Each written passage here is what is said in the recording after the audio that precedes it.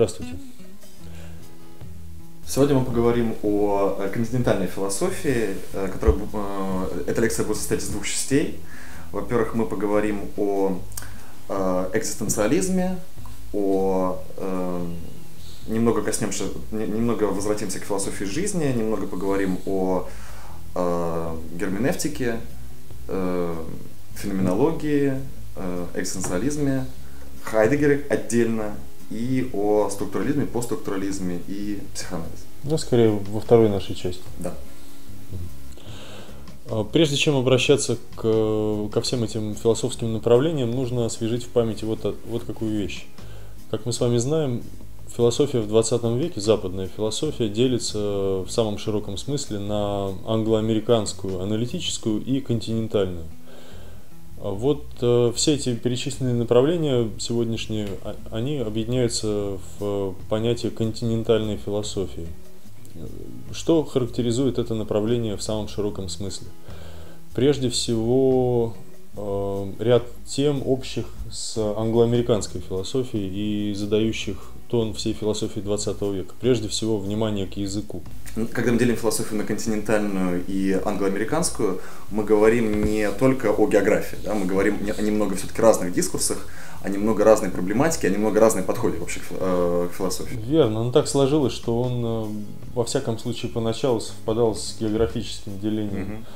Угу. англоязычные философы. Под континентальной мы имеем в виду прежде всего французскую и немецкую философию. Итальянскую. итальянскую а также испанскую, ну, в общем, на вторых ролях. Существовавшую на европейском континенте в противовес британским островам и бывшим, бывшим английским колониям. Mm-hmm. Теперь следующий момент. Мы поговорили о сходстве, теперь надо обозначить, mm-hmm. наверное, различия. Главное различие это, наверное, противопоставление сcientisма и антисcientisма. Mm-hmm. То есть вера в науку одних и критика науки другими, или научного подхода шире, научного мировоззрения. В этой связи нам а, надо несколько слов сказать, пожалуй, о, напомнить, точнее, о философии жизни как предшественнице континентальной философской традиции. Мы помним, что она зародилась в XIX веке, помним Шпенгауэра, Киркегора, Ницше и других товарищей, которые заложили основы вот, э, метода философствования, о котором пойдет речь сегодня. Принято считать, что континентальная философия зародилась благодаря работам, ну, прежде всего, нескольких людей, но прежде всего Эдмунда Гуссера, который является основоположником философского течения, известного как феноменология.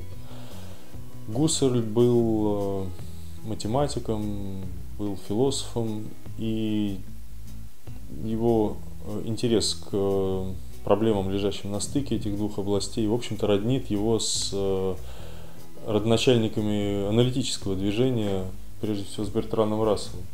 Как ни странно, феноменология Гуссерля была попыткой построить наукоподобную философию, и это совершенно объединяет его с позитивистами.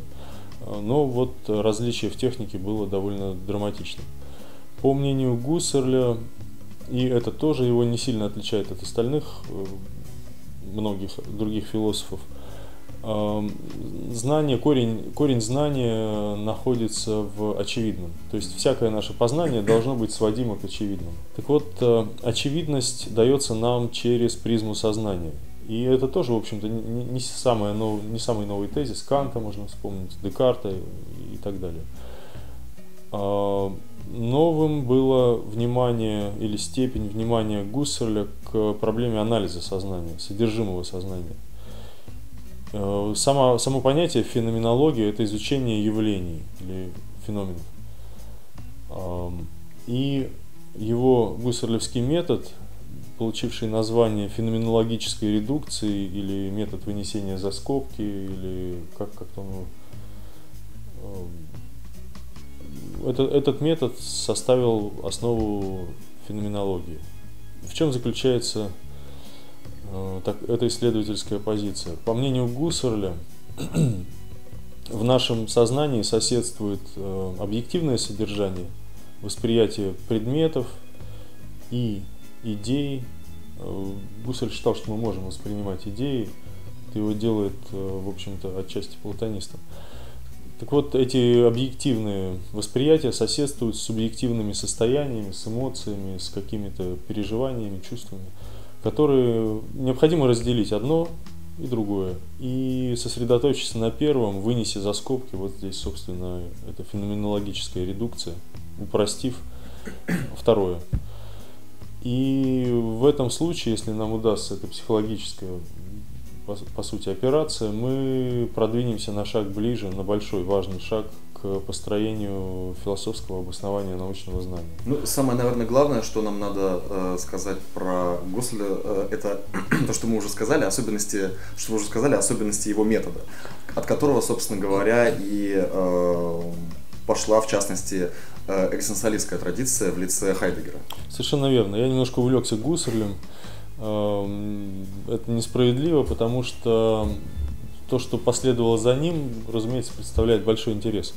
А за ним последовала философия его ученика Мартина Хайдегера. Хайдегер назвал свое учение фундаментальной антологией, поставил задачу докопаться до первооснов бытия, и с этой целью э, он взял гуссерлевский метод феноменологической редукции и повернул его с ног на голову. То, что раньше Гуссерлем выносилось за скобки, человеческое, слишком человеческое, Хайдеггером было провозглашено главным предметом философского анализа. Хайдеггер считал, что человеческая экзистенция или Dasein, как он был мастером изобретения новых философских слов, так вот это самое Dasein проявляет себя через погруженность во время, через э, чувство конечности, через тревогу, заботу, э, будучи постоянно направленно вовне, пытаясь произвести какие-то действия внутри. Хайдеггер тщательно описывает, глубоко описывает жизнь человеческого «я», человеческой экзистенции. Благодаря ему вот в философский лексикон входит это словечко «экзистенция», призванное описать человеческое существование в противовес всему остальному. То есть его задача через человеческое существование э, докопаться до фундаментальных онтологических э, оснований. Верно. Книга Хайдегера «Бытие и время», которая вышла в 1929 году, э, была призвана решить как раз эту задачу. Хайдегер считал, что бытие, здесь он следует Гуссерлю, дается нам в сознании человеческом, поэтому первый шаг это анализ самих себя.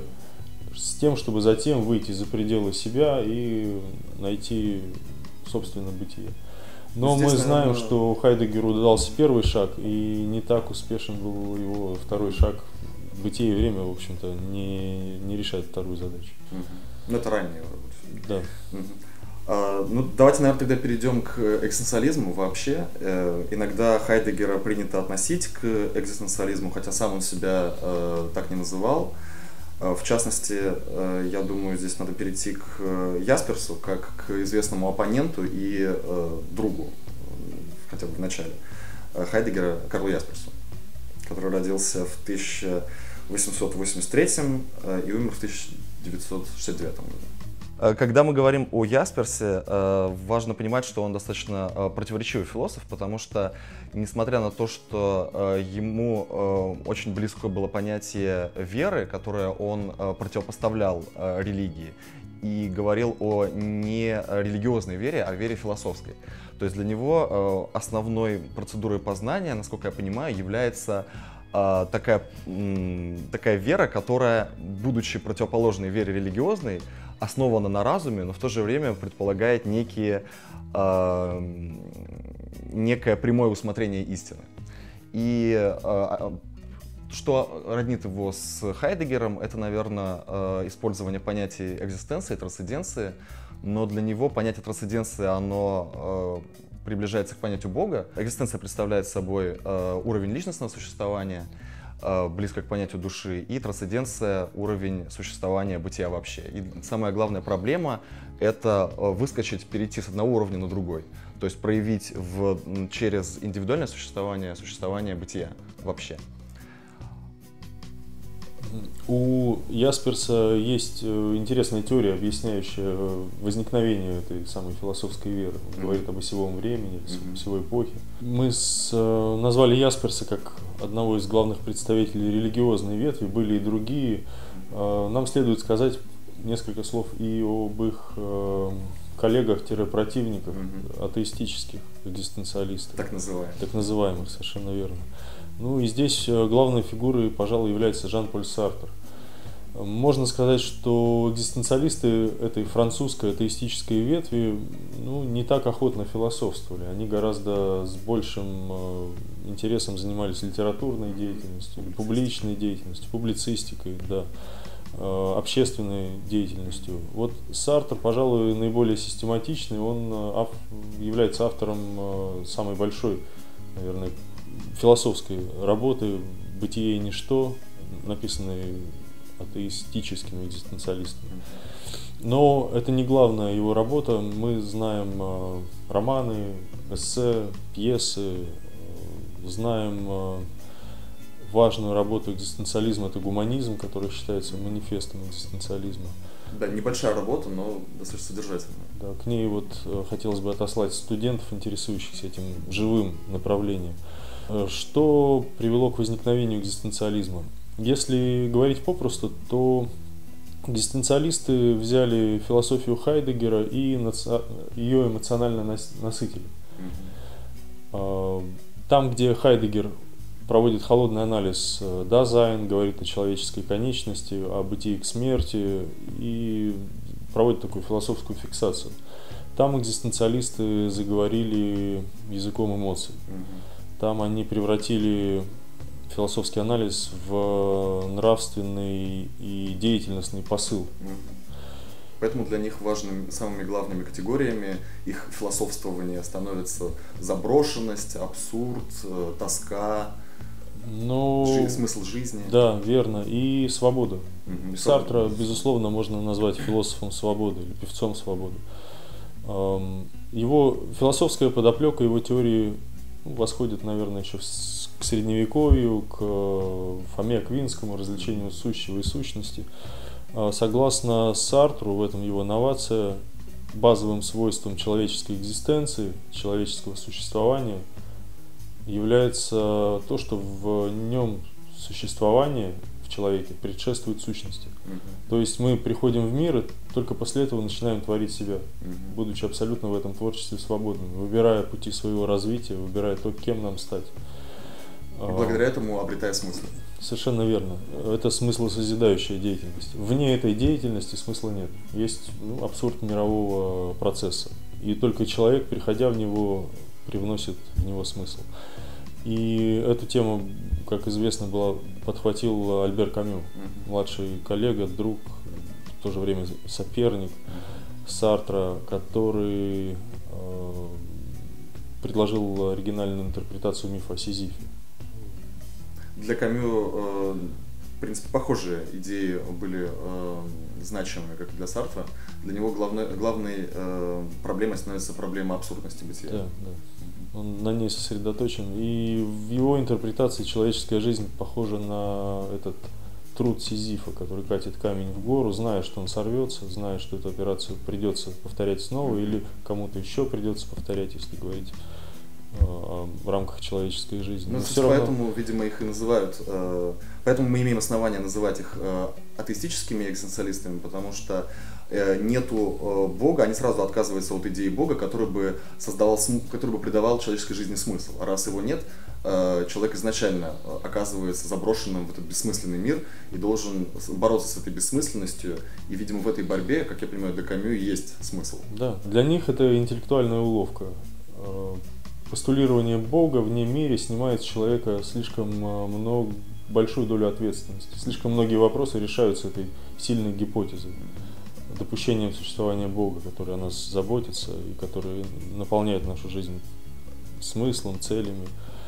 А, это нас, такая, такая уловка нас э, и ограничивает, и вводит в заблуждение. Поэтому экзистенциалисты призывают от нее на отрез отказаться.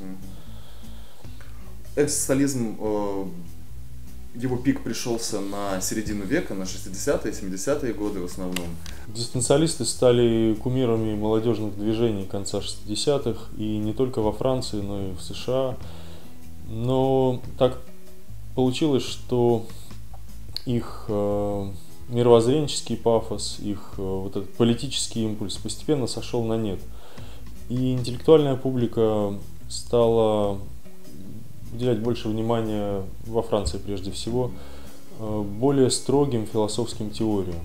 В частности, в конце 60-х, в начале 70-х на авансцену вышел структурализм, о котором мы поговорим в следующий раз.